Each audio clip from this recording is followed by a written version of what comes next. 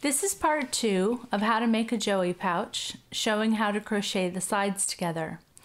This is the same basic technique that you would use in a lot of various projects. For example, if you were to make a blanket out of granny squares, you would either sew them together or crochet them together like this. If you'd like to see uh, the first part of making a joey pouch, the link is here and it's also in the description below.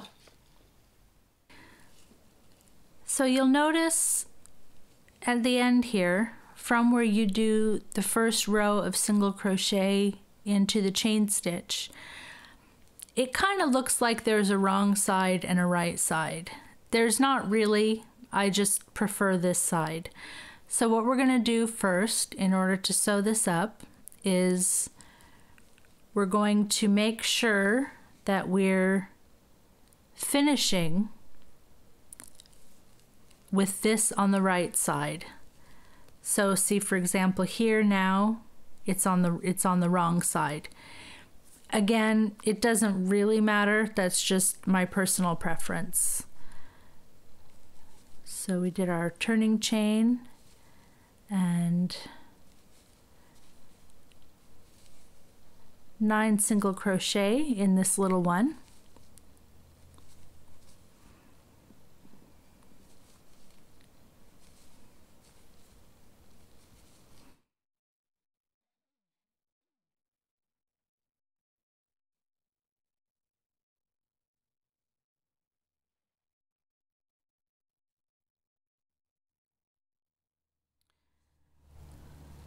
Okay, so get to the end of the row.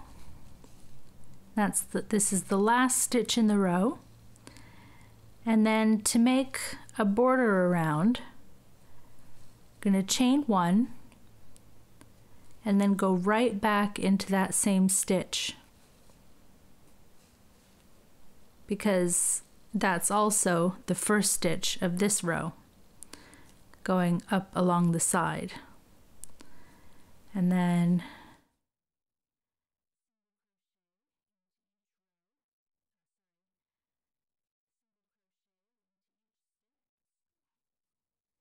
single crochet into each stitch along the side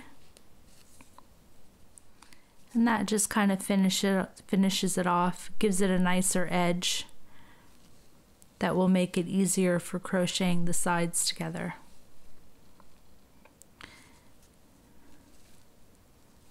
I'm going to finish this off.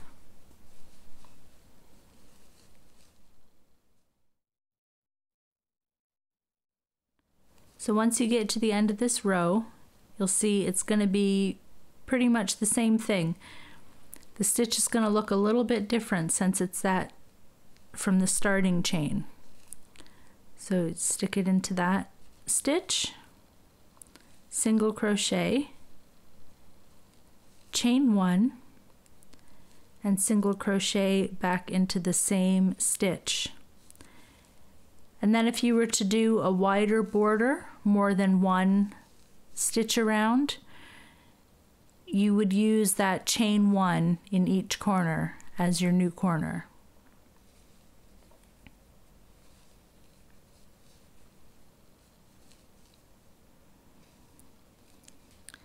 You can see these stitches along the top are a little, little bit different than the normal stitches.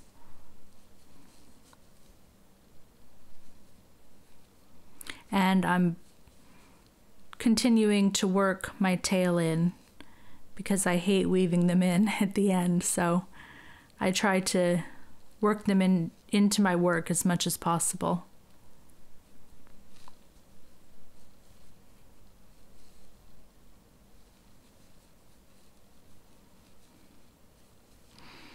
Okay, so we're back in the last stitch of this row. A single crochet, chain one, and single crochet back into that same stitch, which is the first stitch of the new row.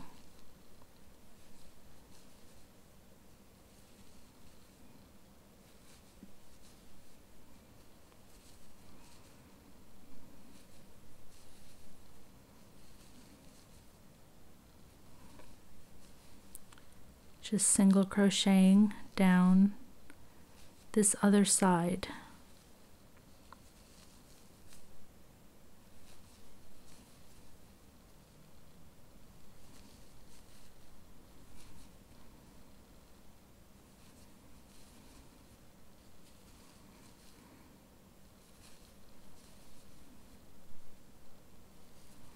one into each stitch. Every other stitch on this one looks a little different because of the turns at the end of the rows.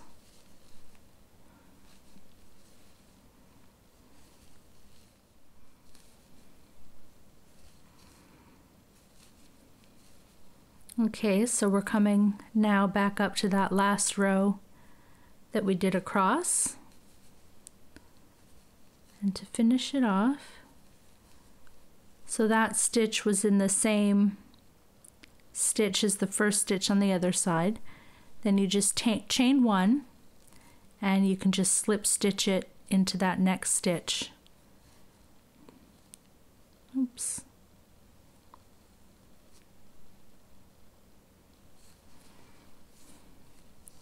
Chain one, slip stitch into the very next stitch.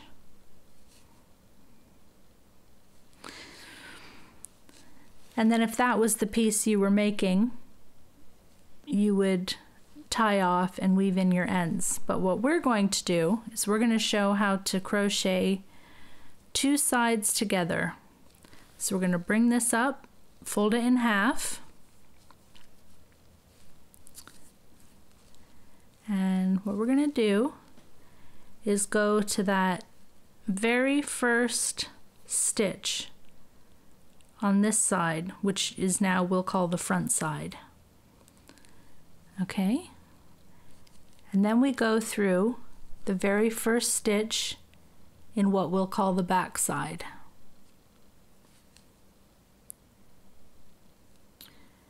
Yarn over, pull through, and in this case, you're going to be pulling through four,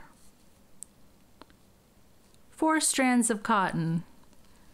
The two V's on the front side and the two V's on the back side. And somehow I got tangled up. I'll just untwist that one there. And then you yarn over and pull through to make your very first single crochet. Again, through the front, V, through the back, V, yarn over, pull through, yarn over, single crochet. Again, through the front V, through the back V, and with each of these you'll just move to the next stitch. Single crochet through the front V, through the back V, yarn over, pull through, yarn over, single crochet. And then when you get to the end, um, tie off, cut your yarn, and weave in the ends. Uh, and then obviously you'll need to start with a new a new strand to do this other side here. You could do that on both sides, but I like to not cut as much as possible. So I'm just using the same yarn I was working with to crochet these together through the front, V, you see how there's like V's like a braid, through the back V, yarn over, pull through, yarn over, single crochet. And here's what we end up with, a cute little Joey pouch. Hope that's been helpful. If you have any questions or comments, please leave them below. Thank you very much.